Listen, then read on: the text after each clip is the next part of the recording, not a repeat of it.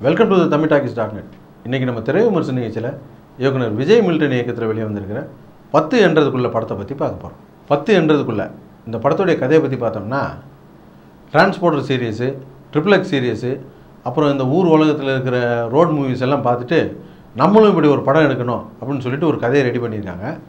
இதை அப்படியே எடுத்தோம்னா காப்பி அடிச்சதுன்னு சொல்லிடுவாங்கன்றதுக்காக வட இந்தியாவில் ஒரு ஊரில் ஜாதி கலவரம் ஏற்படுது அப்படின்னு சொல்லிட்டு ஒரு கதையை இதுக்குள்ளே சொருகி ஒரு படமாக பண்ணியிருக்காங்க. படத்தில் ஒரு ஒரிஜினாலிட்டியும் கிடையாது ஒரு நேட்டிவிட்டியும் கிடையாது. இது படம் முழுக்க செயற்கைத்தனமாக தான் இருக்குது படம் முழுக்க செயற்கைத்தனமாகவே இருக்கிறதுனால படத்தை ஒன்றி பார்க்கவே முடியல. டிரான்ஸ்போர்டர் மாதிரி படம் எடுக்கிறேன்னு சொல்லிட்டு படம் முழுக்க வெறும் காராக காட்டிக்கிட்டு இருக்காங்க. காரை காட்டும் போதெல்லாம் ஒன்று அதை வானத்தில் பறக்க விடுறாங்க இல்லாட்டி உடச்சி போட்டுடுறாங்க. அப்புறம் படத்தில் ஒரு அஞ்சாறு பாட்டு தேவையில்லாமல் வருது. சரி பாட்டையாவது பார்த்து தொலைக்கலாம் அப்படின்னு நினைக்கும் போது அந்த பாட்டுக்குள்ளே பார்த்தீங்கன்னா ஒரு க துண்டு துண்டு கதையாக வருது குறும்படம் மாதிரி. இந்த பாட்டை பார்க்குறதா குறும்படத்தை பார்க்குறதா அப்படின்ற ஒரு குழப்பம் தான் வந்துச்சு. அப்புறம் இந்த கோலிஸோட படம் வரும்போது அழகாக இருக்கிற பயமாக இருக்கிறது. இந்த படத்து டைரக்டர் தான் இந்த படத்தை எடுத்திருக்காருன்னு சொன்னாங்க. கொஞ்சம் பயந்து பயந்து தான் போய் கோலி பார்த்தோம். இப்படி ஒரு அற்புதமான படத்தை எடுத்தவரா அந்த படத்தை எடுத்தாரு அப்படின்னு ஒரு சந்தேகம் வந்துச்சு. இப்போ இந்த படத்தை பார்த்த பிறகு இவர் தான் கோலி சோடாவை எடுத்தாரா அப்படிங்கிற சந்தேகமே வருது.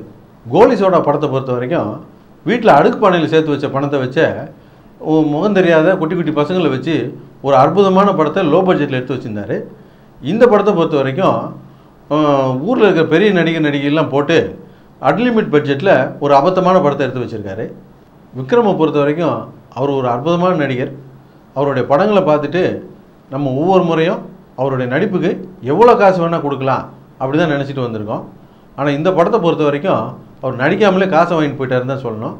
அவர் வா நடிக்காமலே காசை வாங்கிட்டு போனது ஒன்றும் தப்பு இல்லை. நம்ம காசை வேறு பிடிங்கி தேட்டர்காரன்ட்ட கொடுத்துட்டு போயிட்டாரு. மொத்தத்தில் இந்த படம் எப்படி இருக்குது அப்படின்னு கேட்டிங்கன்னா இந்த படத்தை பற்றி வெறும் மைனஸ் பாயிண்ட்டாக தான் சொல்லிக்கிட்டு இருந்தோம். இந்த படத்தில் இருக்கிற ஒரே ப்ளஸ் பாயிண்ட்டு இந்த படத்தை போய் பாருங்கள் அப்படின்னு சொல்ல முடியாது. போய் பார்த்தீங்கன்னா என்னடா இது வகை தொகை இல்லாமல் இந்த படத்தில் மாட்டிக்கிட்டோமோ அப்படின்னு நினைக்க தோணாது. அது ஒன்று தான் இந்த படத்துடைய ப்ளஸ் பாயிண்ட்டு எங்களுடைய நிகழ்ச்சிகள் உங்களுக்கு பிடித்திருந்தால் உடனுக்குடன் கண்டு கீழே உள்ள சப்ஸ்கிரைப் பட்டனை அழுத்தவும். எங்களுடைய நிகழ்ச்சிகள் உங்களுக்கு மிகவும் பிடித்திருந்தால் உங்களுடைய நண்பர்களுக்கும் ஷேர் செய்யவும். நன்றி வணக்கம்.